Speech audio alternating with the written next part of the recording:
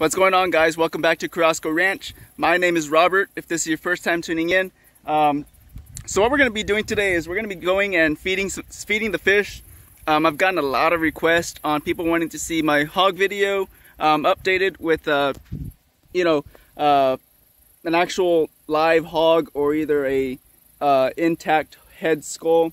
And then I've also got a lot of requests for people wanting updates on the catfish because either they're interested in putting catfish themselves or they're just interested to see how these fish are doing. So that's what we're gonna do today. We're just gonna film the fish as I feed them. I'll put some music on so that way it's not so boring. And um, yeah, guys, if y'all wanna see more videos like this, definitely, cons definitely consider subscribing. Definitely hit that like button.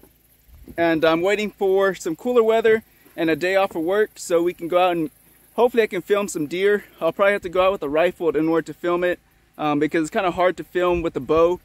Um, it's just a little bit harder to get everything set up. So I'm just waiting for that. And without further ado, guys, we'll get to feeding these fish.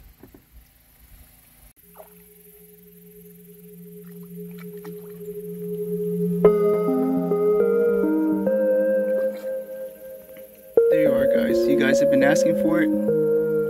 Here it is.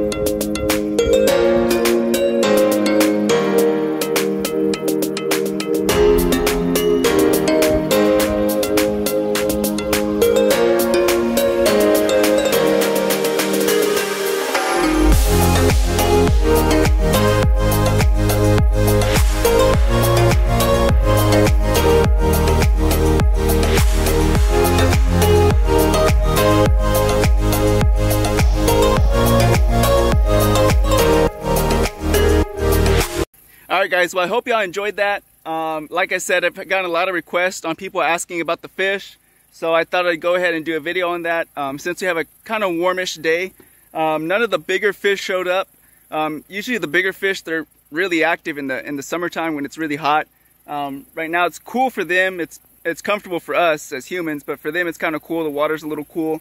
Um, so usually a lot of the smaller fish will be up and around, um, which is what you saw today, a lot of the smaller catfish. But um, hope y'all enjoyed that, and let me know what else y'all want to see on the channel. You can drop it down below. And like I said, I'll be out hunting as soon as we can get some cold weather and a day off together combined. And I'll try to get everything on video for you guys. Without further ado, be careful, be good, take care, and God bless. We'll see you guys later.